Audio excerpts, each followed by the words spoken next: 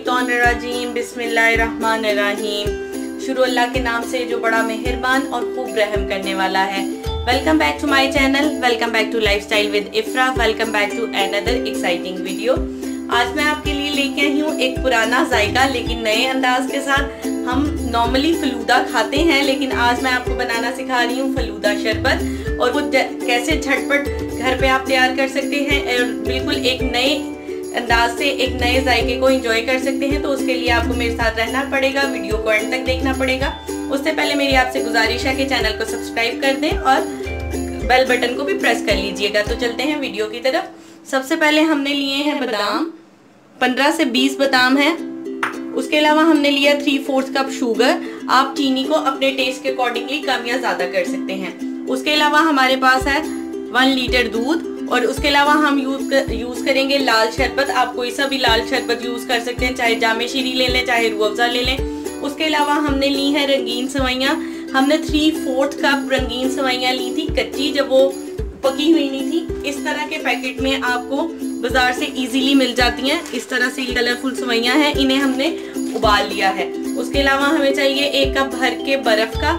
और तीन से चार स्कूप चाहिए हमें आइसक्रीम के। जितना ज़्यादा आप इसे क्रीमी करना चाहते हैं उतनी ज़्यादा आप इसमें आइसक्रीम को ऐड कर सकते हैं। तो चलते हैं इसकी ब्लेंडिंग की तरफ़। उससे पहले मैं आपको इसका एक मेन इंग्रेडिएंट तो बताना भूल गई जो कि है ये चिया सीड्स जिसे बेजल सीड्स भी कुछ लोग कहते हैं। बेसिकली इसका ओरिजिनल नेम है तुखमे बलंगा। लेकिन नॉर्मली हमने इर्द गिर्द अपनी इन्वायरमेंट में हर किसी को इसे तुख मलंगा कहते हुए सुना है। लेकिन इसे चिया सीड्स भी कहा जाता है। लेकिन जब हमने लास्ट वीडियो में इन्हें यूज़ किया था तो हमने चिया सीड्स आपको बताया था तो कुछ कमेंट्स आए थे कि इसे बेजिल सीड्स भी कहते हैं। तो कुछ जगहों पे ये बेजिल सीड्स के नाम से भी जाना जाता है। इसलिए आप कुछ भी कहें चिया सीड्स बेजिल सीड्स तुख में बलंगा या तुख मलंगा है तो वो एक यही चीज़। तो चलते हैं इसकी असेंबलिंग की तरफ़। सबसे पहले हम इसमें आइस क्यूब्स ऐड कर देंगे। अब इसमें हम ऐड कर देंगे शुगर उसके बाद इसमें ऐड करेंगे बादाम। अब हम इसमें ऐड कर देंगे रोज सिरप लाल शरबत, जो सा आपको पसंद है टू टेबल स्पून के बराबर। ये हमने वन लीटर दूध लिया था, उसमें से हाफ़ हम अभी इस स्टेज पर डाल देंगे और इसे अच्छी तरह से ब्लेंड कर लेंगे। और बाकी का हाफ़ क्या करेंगे, वो मैं आपको नेक्स्ट स्टेप में बताती हूँ। अब हम इसे अच्छी तरह से ब्लेंड कर लेंगे ये देखें ये हमने अपना एक मिक्सचर प्रिपेयर कर लिया। अब चलते हैं हम इसके सेकंड स्टेप की तरफ़। उसमें हम क्या करेंगे, ये जो हमने रिमेनिंग दूध लिया था, जो हमारे पास बाकी का दूध था, उसमें हम सबसे पहले ऐड ऑन कर देंगे ये आइसक्रीम ये अब हम इसमें ऐड कर रहे हैं आइसक्रीम आइसक्रीम अगर मेल्ट हो जाए तो कोई इशू वाली बात नहीं।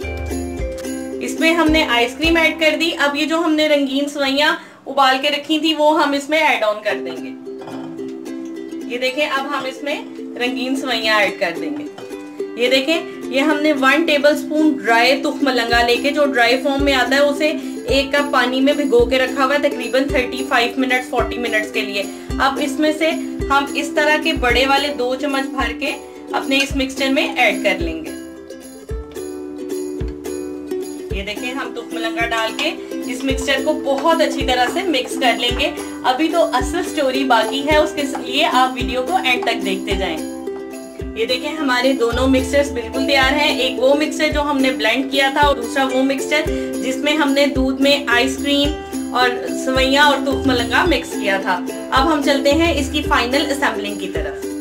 ये देखें ग्लासेस को जिस तरह से हमने आपको एक वीडियो में कैरेमल सिरप और चॉकलेट सिरप के साथ डिकोर करना सिखाया था। आज हमने इन ग्लासेस को रूह अफजा के साथ, यानी जामे शीरी के साथ किया है। सबसे पहले ये जो हमने मिक्सचर ब्लेंड किया था हाफ़ हम अपने ग्लास को उससे फिल करेंगे। ये देखें, इस तरह से हम सारे ग्लासेस को हाफ़ पोर कर लेंगे।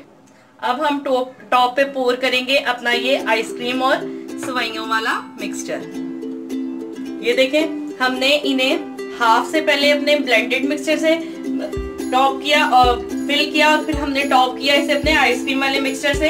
अब ऊपर से for the sake of garnishing आपने सेंटर में इस तरह से एक एक ड्रॉप के बराबर लाल शरबत डाल देना।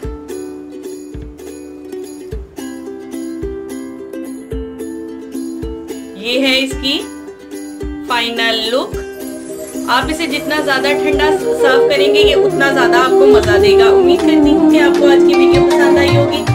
अगर पसंद आई है तो चैनल को सब्सक्राइब